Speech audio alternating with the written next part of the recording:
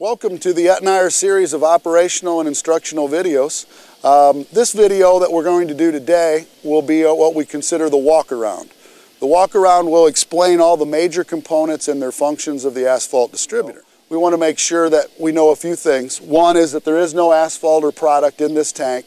We will not be opening and closing valves in order to spray asphalt during this video.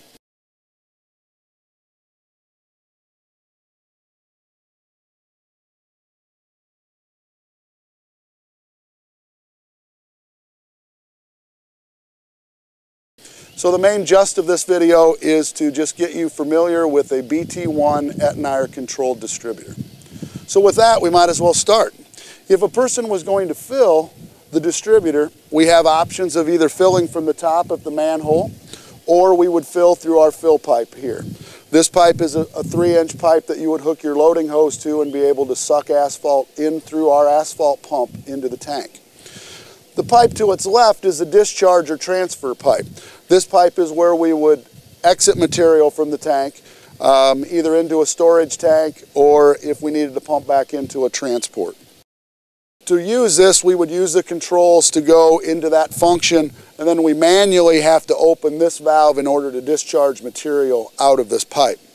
Once that operation is complete, we can then close this valve and this valve becomes suction on the pump. So we would change the controls to the load feature.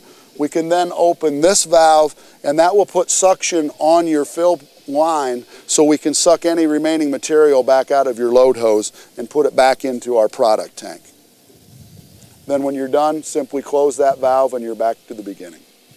The other valves as I go around here, one, this being a diesel valve, this valve here, when it's open, will allow diesel fuel to be sucked from our reservoir on the other side of the truck into our asphalt pump to be able to clean it out at the end of the day.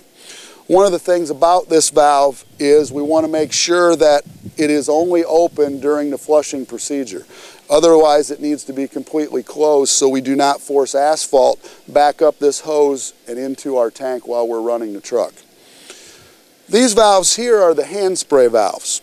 Very simple operating instructions on the back of the tank um, with the tag. It's as simple as when you want to hand spray, you move the valves over. When I'm done hand spraying and I want to suck back, I move the top valve back and now I'm in the suck back mode for the hand spray. And when I'm done sucking the hand spray hose back, I would move the bottom valve back to the left in the, in the start position. So all of that is just your hand spray functions. While I'm here, I'd like to talk about the smokestacks or the flue tubes that we call them that go in relationship with the burners. Before the burners can be lit, we want to make sure that these dampers are open. And it's a very simple lift the lever and pull it open. That will open the flue so when we light the burners, they'll get good draft. Once you're done with your burner operation, we want to make sure we close those so we don't create a draft through our tubes